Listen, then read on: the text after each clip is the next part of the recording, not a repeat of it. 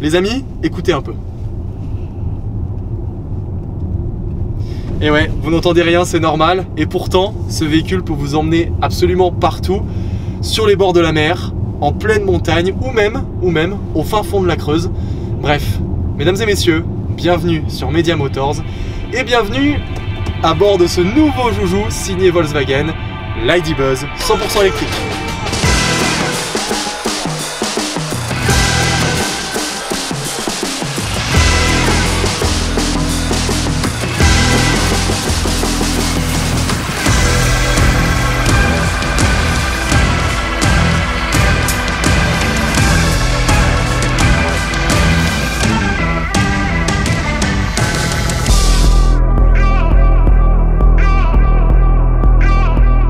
Et la question qui va se poser forcément, c'est est-ce que l'électrique et le road trip, bah, ça fait bon ménage?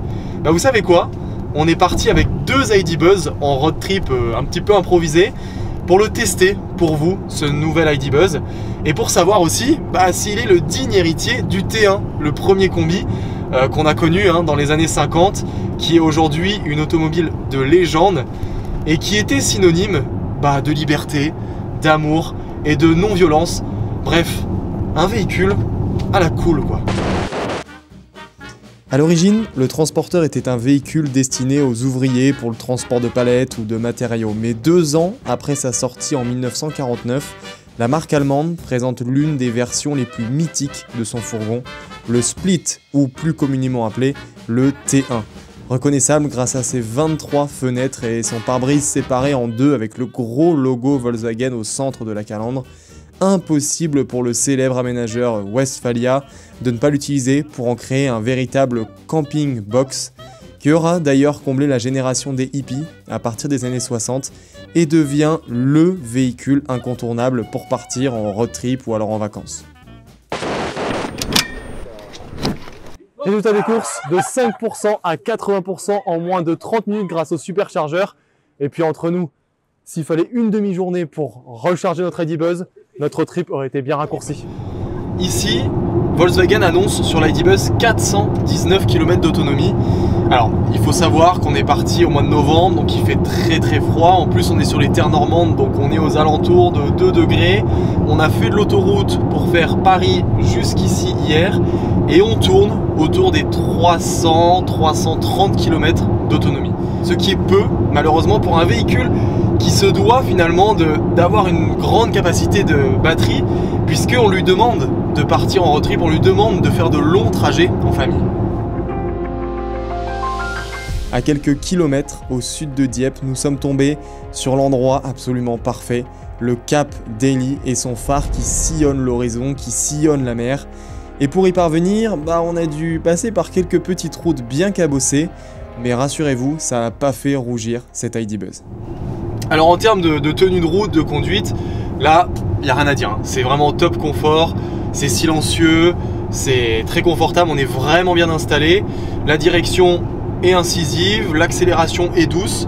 C'est vraiment un véhicule top pour cruiser en famille ou entre amis. Et puis bah, si on veut le titiller un peu, ce Volkswagen ID Buzz, bah, il dispose quand même de 204 chevaux. Pour un poids, attention les oreilles, de 2 tonnes 2, le poids à peu près d'un gros SUV. Mais croyez-moi que bah, il en a dans le ventre, cet ID Buzz. Et bien sûr, le fait qu'il soit électrique donne tout le couple au bas régime.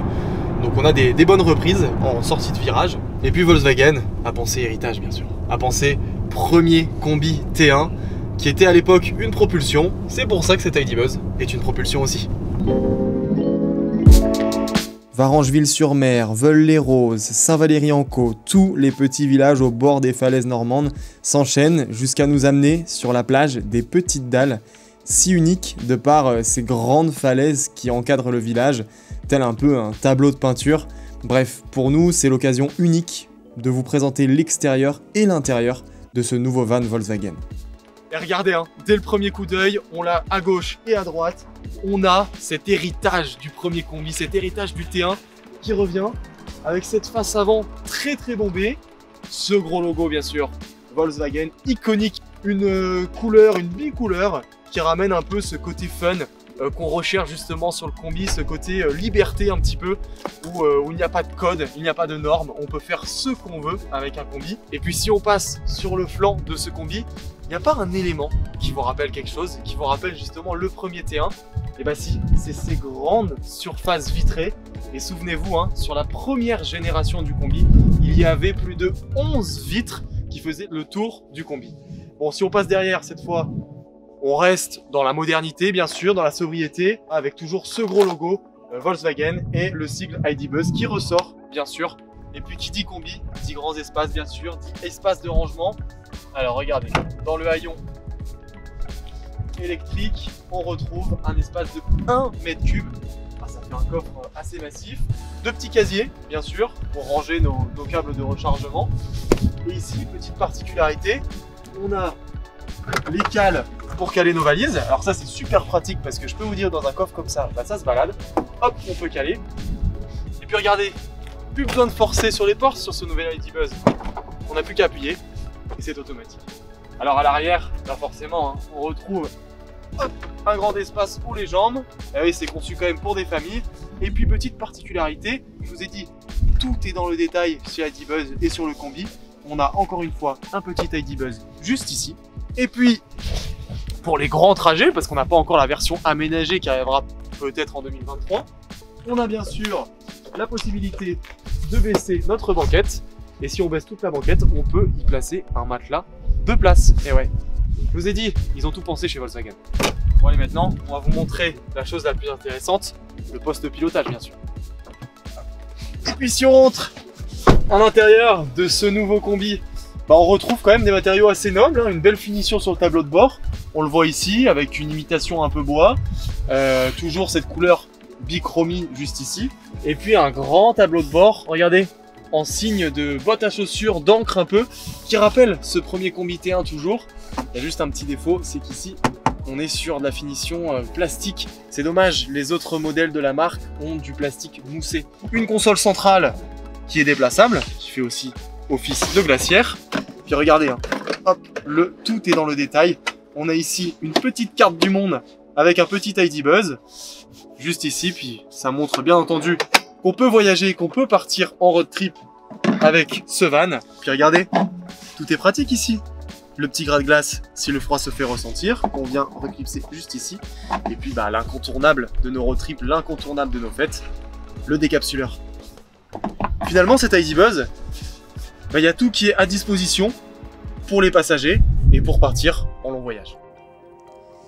Les petits villages, forcément, bah, sont synonymes de petites rues, et vu le c'est vrai qu'on pourrait être un petit peu freiné euh, de rentrer dans ces ruelles, ou même dans les villes. Hein. Imaginez 2,21 m de large avec les rétroviseurs, et bah pourtant, tout est prévu pour euh, vous faciliter la tâche. On a un angle de braquage qui est presque de 90 degrés. Regardez un peu la facilité avec laquelle je tourne, c'est vraiment remarquable.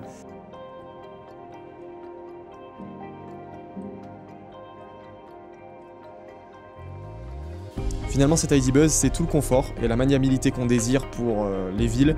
Mais pour moi, je trouve ça encore un petit peu trop juste en termes d'autonomie pour partir en road trip et en vacances loin de chez nous. C'est quand même un véhicule exceptionnel. C'est un véhicule qui attire. C'est-à-dire, comme le premier combi T1, c'est un véhicule qui est atypique, qui arrive à susciter l'émotion des gens. Et je vous promets qu'on est passé dans quelques villes. Et même là, paumé au milieu de la Normandie, avec le petit phare Daily, et ben on croise des joggers qui viennent voir l'ID Buzz. Finalement, cet ID Buzz, bah, c'est le véhicule à la cool et c'est le véhicule qui plaît à absolument tout le monde.